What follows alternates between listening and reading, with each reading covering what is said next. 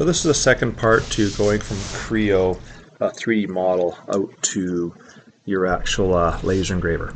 So now that I have my three parts all in a line, okay, I need to create a drawing. So I'm just going to go to New, I'm going to go Drawing, okay, and I'm going to call it Puzzle. Okay, oops, it already creates it, so I'm going to call it Puzzle 2, okay. Now what I'm going to do is I'm going to select a C size drawing because my puzzle's been done in inches and C drawing is 22 by 17 so I'm going to click OK. And what's going to happen is it comes into the drawing part of the Creo. And I've got different parts here now I can just move this if I want.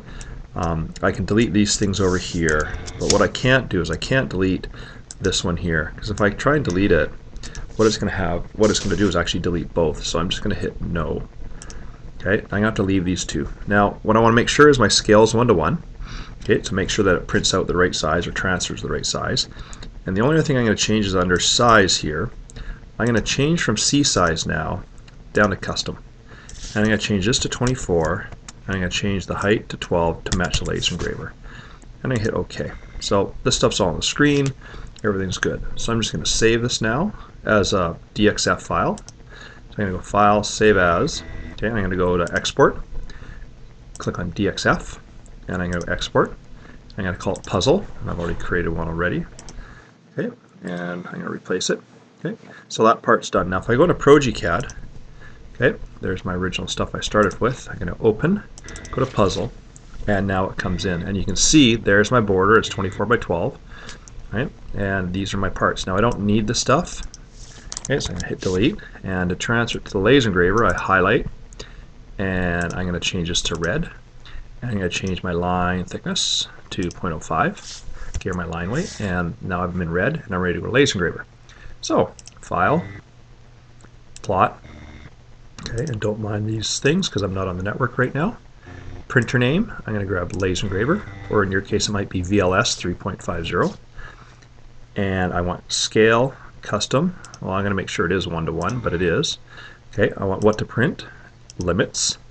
Okay, and I want down here landscape. So printer's right, limits, scale one to one, landscape. Now if I hit preview, you can see it's there. So I hit print, it goes away. Now if I come down here, there it is in the laser engraver ready to go. Now it's just a matter of going to settings and setting up everything and then pressing print on the laser engraver. Before you go through this whole process, just ensure that you've done a test to make sure the plastics actually match up. So for example, this is using quarter inch plastic and I've actually set it up so that it will work. However, if you were to change plastic, then obviously thicknesses and things would have to change. And that concludes how to go from your 3D puzzle, okay, that you've assembled in Creo, to going to an actual layout, right, still in 3D, because you have to put all the parts into there, all the way to your drawing, right, getting it there, to progeCAD, and finally printing it out with the laser engraver software right there. Okay, thank you very much and hopefully it works out for you.